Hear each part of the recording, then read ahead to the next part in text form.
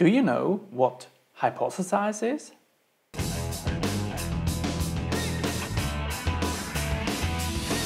Please note that everything that I'm going to show you and that I'm going to say is under the copyright of Scaled Agile.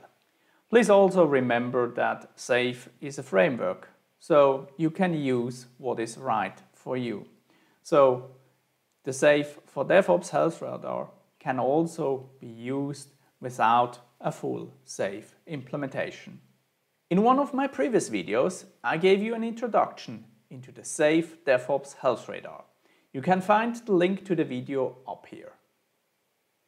What is important is that the SAFe DevOps Health Radar is not only used as an assessment, it is also a process which starts with the customer, goes through it and ends with the customer. And the whole process is also the continuous delivery pipeline with the four dimensions of continuous exploration, continuous integration, continuous deployment and release on demand. And as the DevOps Health Radar, it starts with the customer and it ends with the customer. I will create a video series where I go through the whole SAFe for DevOps Health Radar. Because the SAFe for DevOps Health Radar is also a process, I have created this process chain up here so that you can see in which process step we are at the moment. In this video, we will focus on the process step hypothesize. What are we going to do in this process step hypothesis? The purpose of this process step is to define a hypothesis which we can validate throughout the whole process. So why should we create a hypothesis and validate a hypothesis? Because do you know that you are building the right thing? Are you sure that you are building the right thing? And how do you know that you are building the right thing? That's why it's important to create a hypothesis. Because there are many bright ideas out there, but not all of them are worthy to be implemented in the full extent. And because we have so many things to do, we need to focus on building the right thing right. That's why we need to create a hypothesis. So how do we do that? Yeah, it's quite simple. Define the hypothesis and then validate the hypothesis. That easy. Let's have a look how this works. First of all, we need to create an epic. Why an epic and not a project? So an epic and a project are two different things. An epic is a container for a significant initiative. And what we do there is we define the hypothesis behind that epic. And then we will create an MVP which validates this hypothesis. An, an project, on the other hand, is a thing which has a clear start and a clear end. It has a budget, it has a timeline, and it has a clear set of requirements and tasks which need to be done. And that's something completely different than an epic. So how do we define an epic? We define an epic by using this epic hypothesis statement. There we are going to describe the epic. We are going to describe for what kind of customer are we doing that. And remember, there are of course internal customers and there are external customers in a company.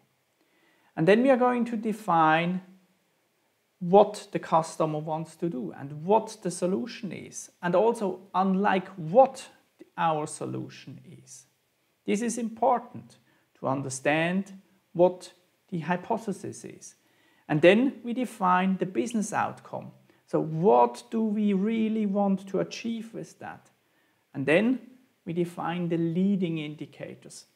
And leading indicators is something very important because when we are creating the MVP, we want to measure the hypothesis as fast as possible so that we know if we should invest more into this product or less into this product. And of course, we are going also to define the non-functional requirements. Creating this EPIC hypothesis statement will take you roughly an hour, maximum two hours. After we have created the EPIC hypothesis statement, we know what the hypothesis is. What we now need to do is to create this lean business case. This is a two-pager, which we will fill out. And in these two pages, which is very important, there we define what the MVP is and also what the full solution may be.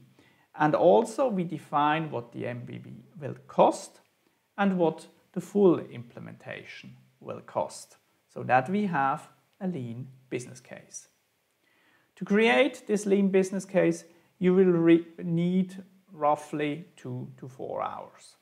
Now, in the lean business case, we have defined what the MVP is. And together with the EPIC hypothesis statement, we know the hypothesis which we need to evaluate. So therefore, we use this lean startup cycle where we are going to build now this MVP and to evaluate the hypothesis.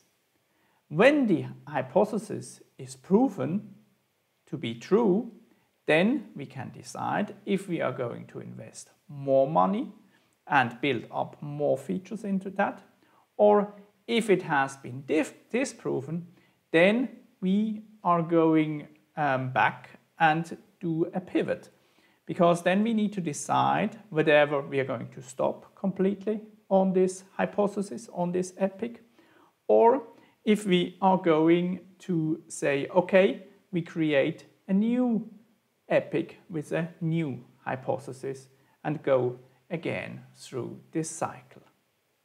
So now, how do we know, really know that we are building the right thing? We know because of the epic hypothesis statement. There we have the leading indicators. The leading indicators, they are metrics which measure if the, we are building the right thing and it has the desired impact and our, our hypothesis is true. And remember, these are leading indicators, so we, we need to measure as fast as possible, not in a half year or in a year. Be also aware of vanity metrics. Vanity metrics are metrics um, which are indicators which do not truly measure the real business outcome. So vanity metrics can, for example, be number of downloads or number of users. So be always aware of these vanity metrics, but also vanity metrics can change from context context. There is a very good article about the leading indicators about innovation accounting on the Scaled Agile Framework homepage. You can see the link here. And it also has some good examples how you can measure and how measuring these leading indicators has been done in other companies. So what is the output of this process step hypothesize. So after this process step, we have a backlog with epics and an epic has a hypothesis statement behind it and through the lean business case, we have also defined the MVP, which then gets evaluated through the hypothesis statement. SAFe has, for the SAFe for DevOps Health Radar, also an assessment. I introduced this assessment in this video. You can download this assessment here under this link. SAFe provides an Excel. In the Excel you find these questions for hypothesize. Hypothesizing entails expressing a business idea or an epic in terms of the business value it is expected to deliver. This hypothesis is then implemented as a minimal viable product, MVP, throughout the continuous delivery pipeline and evaluated for accuracy when released. So when you assess yourself, then you are a sit when ideas are only vague and not defined in your context. You are a crawl when ideas are defined, example as an epic, but do not include a hypothesis statement. You are walk when some ideas are expressed as hypothesis statement with measurable outcomes. And you are run when most ideas are expressed as hypothesis statements with measurable outcomes and include MVPs. And you are fly when all ideas are expressed as hypothesis statements with measurable outcomes and include MVPs. This is how you can assess yourself in the process step of hypothesize. You can see the process step of hypothesize is a very important one because here we are getting all of the ideas from the customer or from the business and we are putting them into an epic with a clear hypothesis statement and with a measurable outcome. And with that, we are at the end of this video. Please leave me a thumbs up if you liked this video and don't forget to subscribe to this channel because I will create a video every week for you.